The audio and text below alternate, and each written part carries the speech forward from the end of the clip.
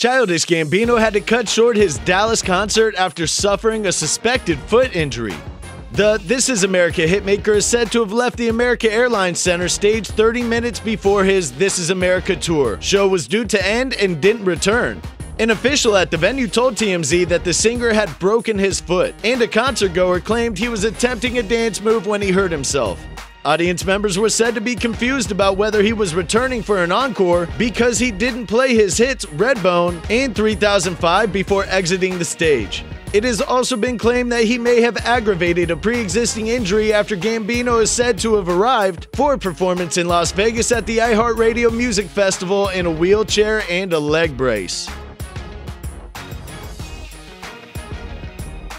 If you like and subscribe to our videos, there's a chance your favorite celebrity will follow you on Twitter. We can't prove that, but we're saying there's a chance.